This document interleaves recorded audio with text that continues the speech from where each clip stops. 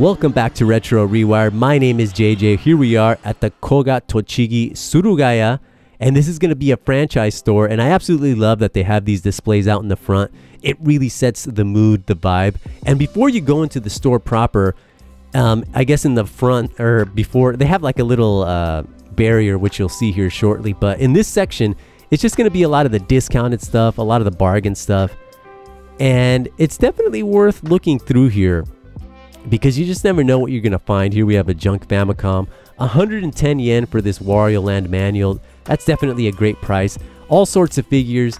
Definitely work, worth uh, looking through here just because you never know what you're going to find. Um, now, a lot, of course, a lot of the good stuff is going to be behind the glass or in the regular stacks. But look at all this. Uh, everything here is 330 yen.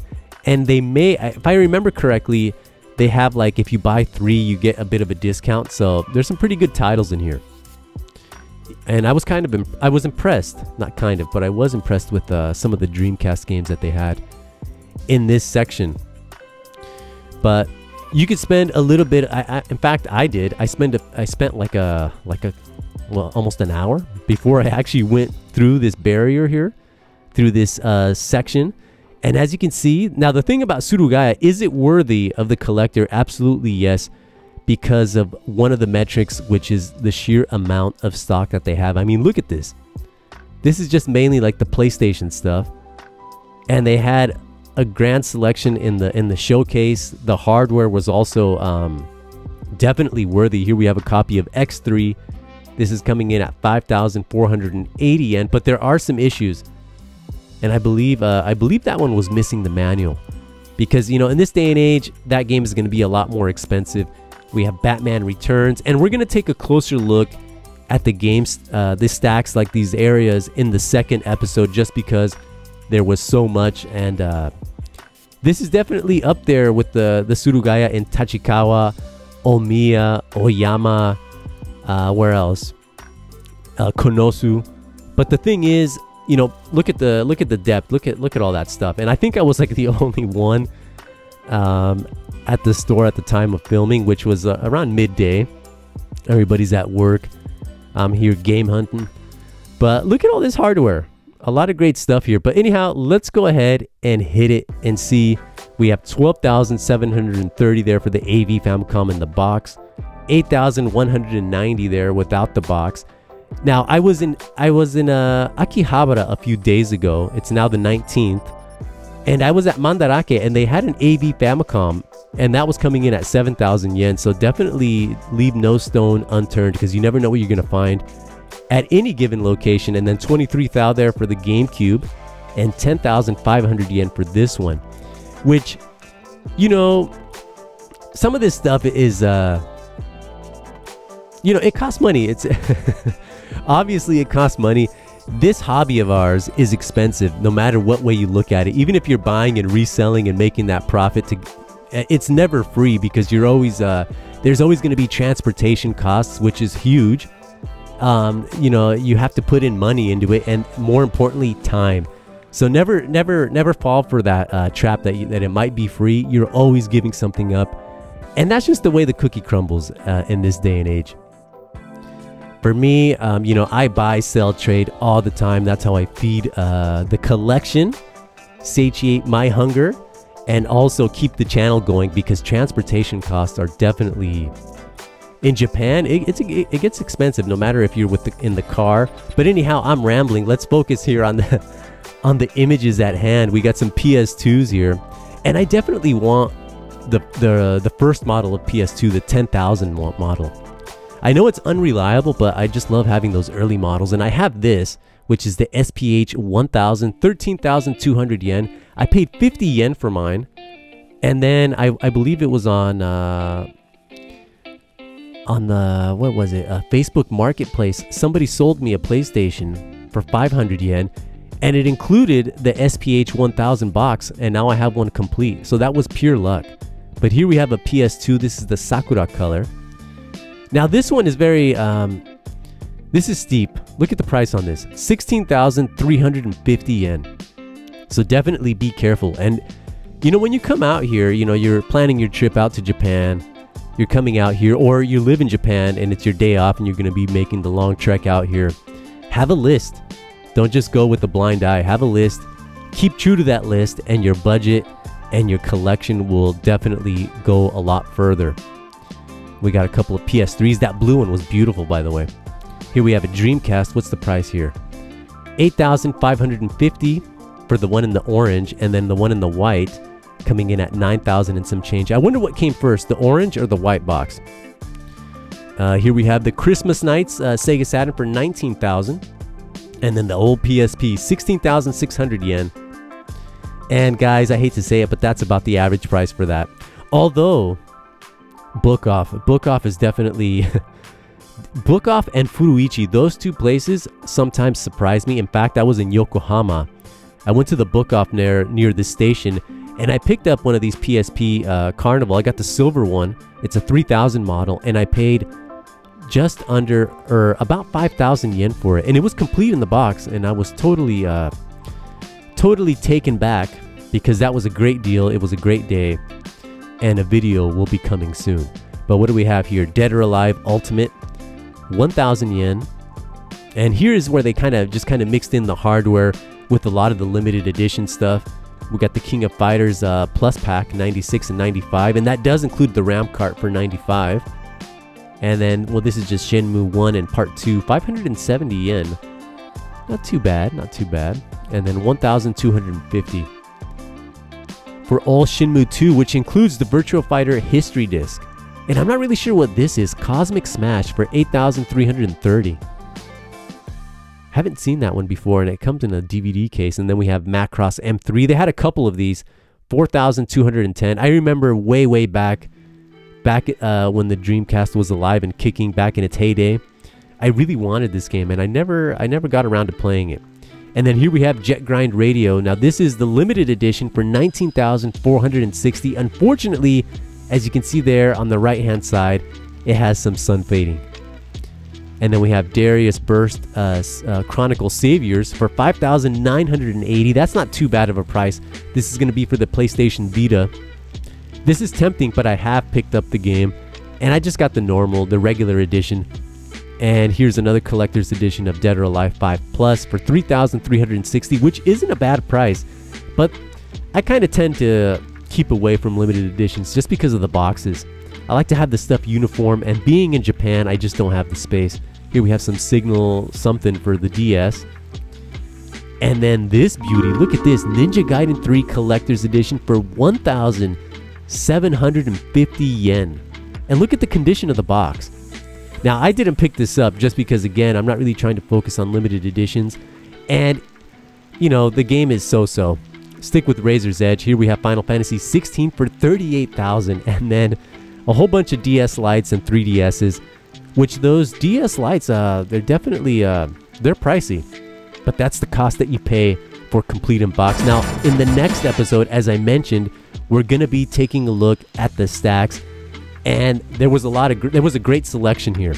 And this is where I spent the majority of my time. So definitely keep a lookout. Hopefully that will drop sooner than uh, than this video. I just had uh, some family over. You know, it's that time of year just kind of uh, spending time with them, taking a little break from the YouTube. You know how it goes, but we're back. The PC Engine CoreGrafx, 22,980 yen. Now, the condition looks fairly um, above average, but definitely a pricey one. And then we have the God of War Ragnarok controller there. And then what do we have here? An Xbox One X, and then 5,850 there for the PSP. And then look at the GBAs 14,000, 13,000, 12,000, 18,000, just kind of all over the map. But that's that's in today's day and age, that's going to be the average. At least at the Surugaya. And then what do we have here? The Cave Collection on the 360 for 88,000, although the box has a little gash there. And then the Game Boy Light, 35,500 yen.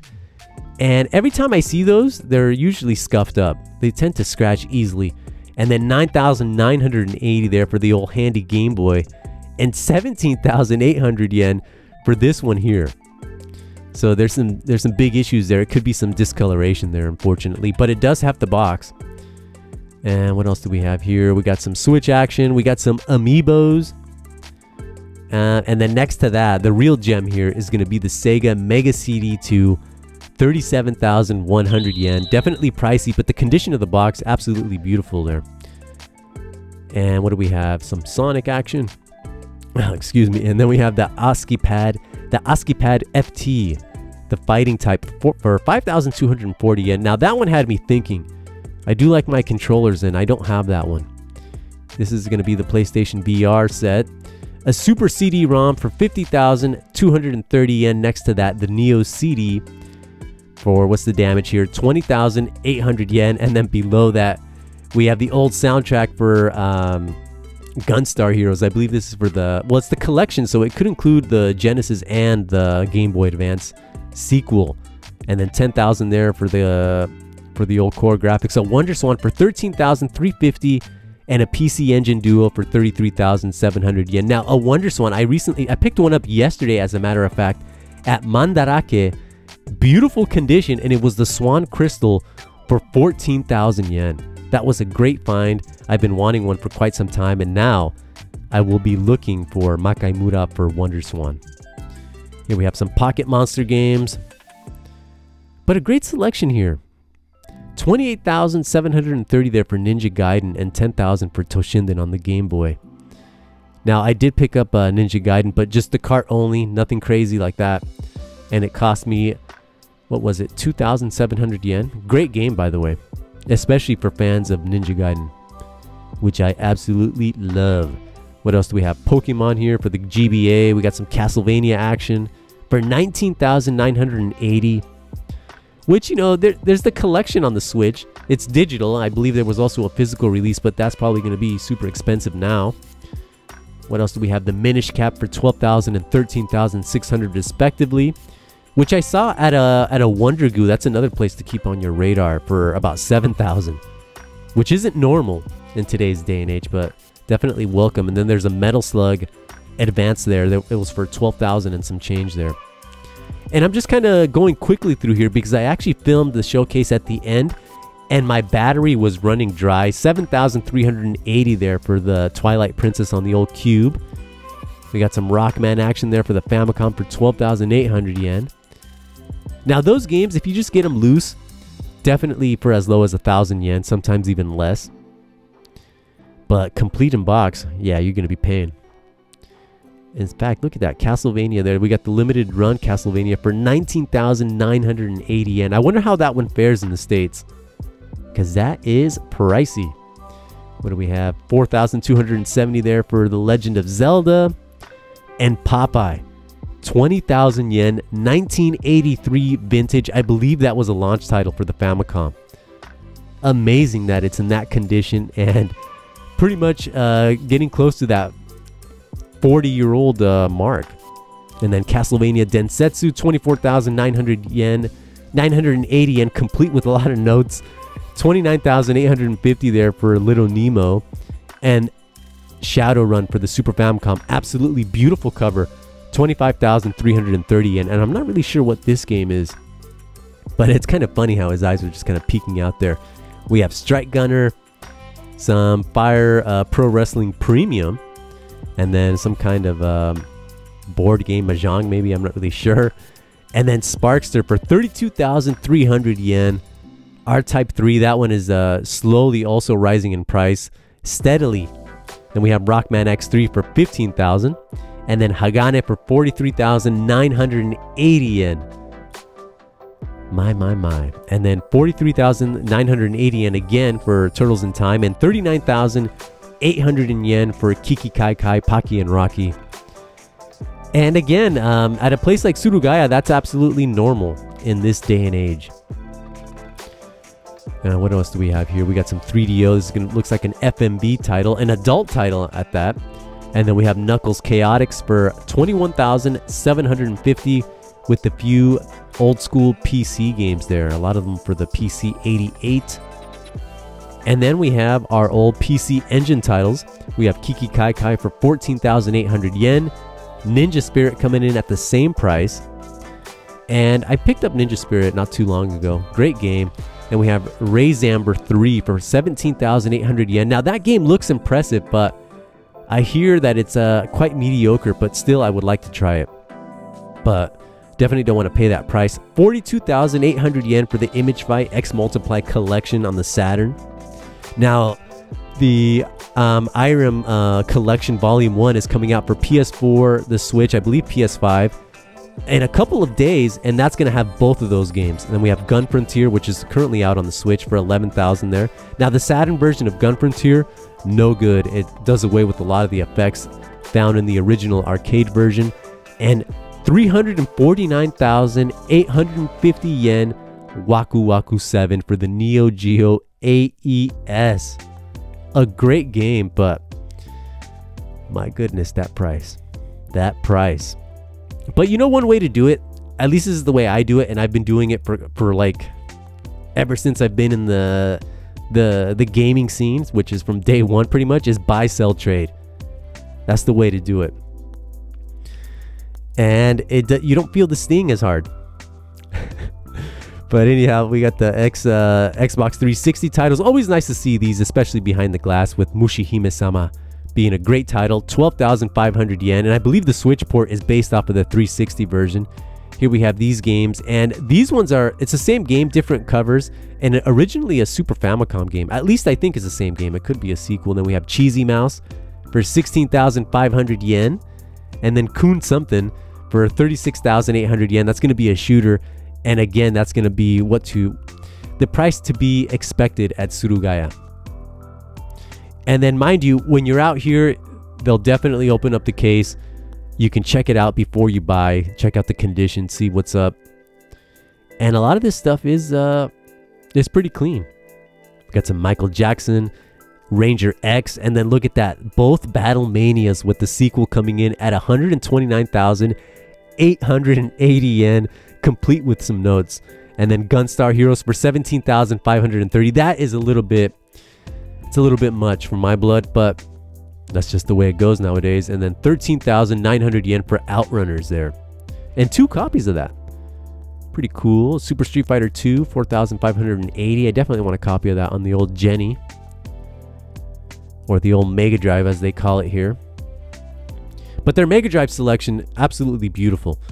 Uh, 16,500 yen there for Splatterhouse Part 2, which is actually, it's reasonable in this day and age, that is reasonable. 21,980 there for, for Rocket Knight Adventures, which is on the little bit on the lower side. At least compared to what you see in Tokyo, and then 19,800 for one of those uh, Sonic and Knuckle, Knuckles uh, copies. And then here, the last bit of case is going to be for limited edition stuff, and a few Game Boy Micro accessories, and then we have a pocket there for 8,000.